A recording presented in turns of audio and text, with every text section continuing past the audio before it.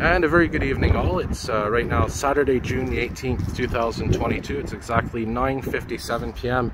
Now look at this, we're at the site of the new Panama bus terminus here in the South Shore. Well, soon to be opening.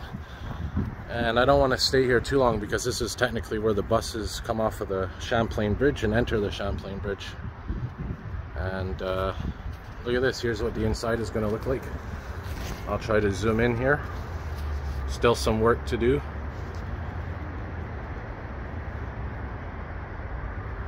I'll take a picture as well while I'm zooming in. Yeah, so that's pretty much what it looks like. And you'll notice the design is very similar to the REM stations, which I'm going to be getting some video of tonight. I'm going to be joining fellow YouTuber TechNet9090. And uh, yeah, we're going to see what the REM stations are looking like around here.